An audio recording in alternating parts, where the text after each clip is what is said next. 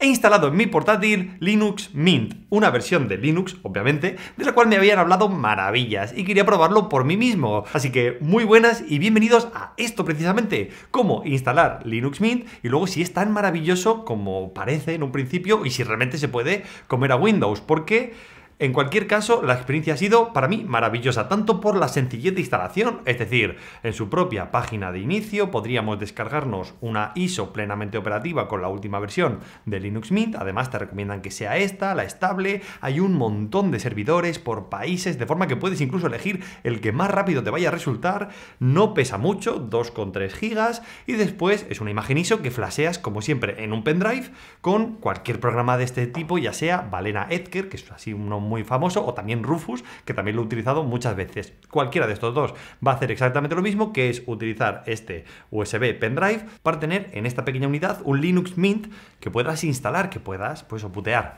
Claro, hasta aquí, como digo, sido todo maravilloso porque es rápido, porque es sencillo, porque te venden rápidamente las eh, ventajas de este sistema operativo en su página, incluso tienen una especie de tienda en la cual te venderían eh, diferentes ordenadores ya preconfigurados con Linux Mint. Y como digo, lo venden bastante bien y sobre todo está muy bien trabajado en lo que es la sencillez, porque luego, como cualquier otra instalación en un PC, accedemos a nuestro PC desde la BIOS, suele ser con la tecla F2, pero dependerá del fabricante, revisa en internet cuál es tu PC, en este caso casi siempre suele ser F2, pero bueno, el caso es que una vez estés en esta pantalla vas a poder elegir qué tipo de dispositivo se arranca antes o después en tu PC. Es decir, que lo ponemos arriba del todo en la lista de prioridades, salimos guardando los cambios para que acceda así a este USB cuando arranquemos nuestro portátil, que en este caso tenía un sistema operativo Windows, pero que va a dejar de tenerlo. Hasta aquí el proceso de instalación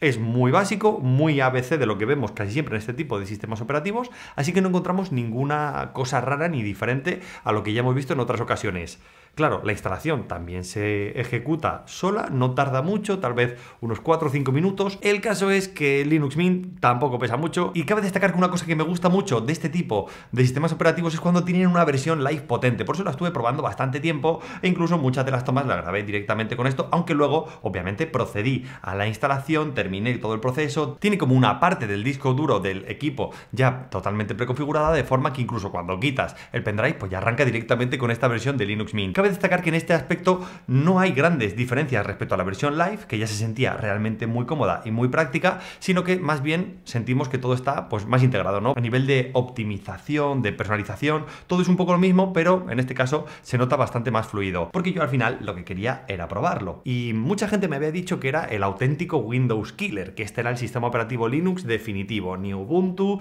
ni ninguna de estas, que esta era la buena buena. Y es cierto que tiene una cosa muy maravillosa, y es que se siente que estás en casa, sientes que tienes una interfaz ya muy Windows. Entonces, claro, es normal que mucha gente cuando lo prueba, lo que diga es, oye, esto es muy parecido. Yo recuerdo cuando instalé Fedora, cuando instalé Zorinoes, ya he probado otros sistemas operativos que se prometían muy buenos, pero este me ha gustado por diferentes aspectos que creo que están muy muy bien trabajados. Lo primero que podemos notar es que todo funciona bien, que no hemos tenido que hacer nada, que tenemos el touchpad perfectamente operativo, que tenemos incluso la antena de wifi, la antena de Bluetooth, no he tenido que reinstalar ni toquetear nada en el terminal, está todo ya habilitado. E incluso este portátil tiene una pantalla táctil que también funciona muy bien, así que lo tiene todo. Vamos a poder utilizar este equipo plenamente funcional. Lo primero es que se sentía rapidísimo, pero incluso cuando lo estaba utilizando en el USB, era maravilloso y sentías eso, que tenías la capacidad de personalizar lo que te diera la gana. Podías cambiar cualquier tipo de, obviamente, wallpaper, lo cual no es nada novedoso, pero también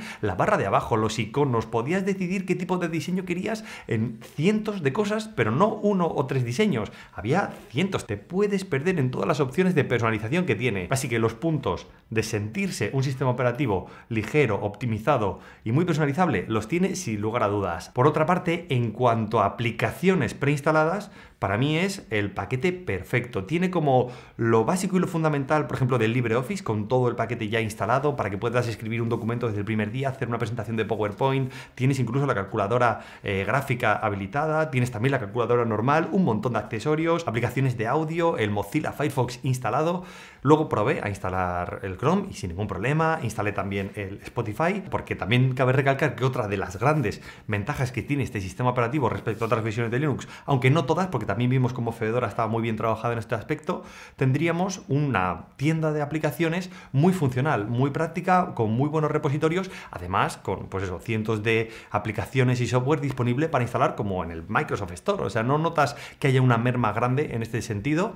por lo que todo me ha parecido de 10. Cualquier cosa que quisiera hacer, sabía cómo hacerla porque tiene esa interfaz tan amigable que cada vez se estandariza más, ¿no? Las opciones de personalización, las opciones de preferencia, si quiero modificar esto, si quiero ampliar la resolución de la pantalla, si, si quiero, por ejemplo, mover una ventana hacia la izquierda, hacia la derecha, rápidamente me da la opción de hacer el resize o habilitarse en la izquierda, o sea, todo es muy Windows en las cosas que molan y luego tiene esa parte de Linux para que todos los que queramos tener un sistema operativo alternativo o incluso si queremos dar una segunda vida a un PC que tengamos un poco viejo, que podamos hacerlo sin que sea como una cosa que habitualmente suelo decir en este tipo de vídeos, que es una frase que habréis oído muchas veces, lo de está muy bien para la gracia, para que lo instales, para que lo trastes, pero para el usuario común pues no es tan necesario tener Windows, a no ser que realmente sepas un poco algunas pautas extra. En este caso no, en este caso sí que ha sido un sistema operativo que me ha gustado mucho tener, que me gusta utilizar y que perfectamente voy a dejar preinstalado en mi equipo. Incluso me parece excesivo muchas veces como Windows 11 trae un montón de aplicaciones por defecto que tengo que estar desinstalando,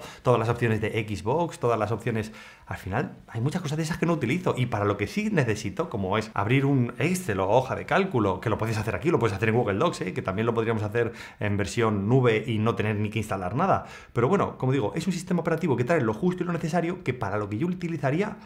no necesito más. Y como la sensación ha sido de tanta calidad en los detalles, en que cuando quieres utilizar algo va bien, pues a mí particularmente me ha convencido muchísimo. Sí que llego al final de este vídeo convencido de lo que hablaba al principio, de que este podría ser perfectamente el Linux que le compita de verdad a Windows, que realmente tengamos un sistema operativo que para muchísimas personas sea igual o mejor que lo que encontramos en el sistema de la ventanita. Así que nada que añadir. Espero que os haya gustado este vídeo repasando Linux Mint. Me puedes dejar en comentarios si quieres que repase o que revise algún otro sistema operativo. Ya sabéis que like para el esfuerzo. Yo soy Jorge, esto es tu Tecnomundo y ojalá que nos veamos en muchos más vídeos.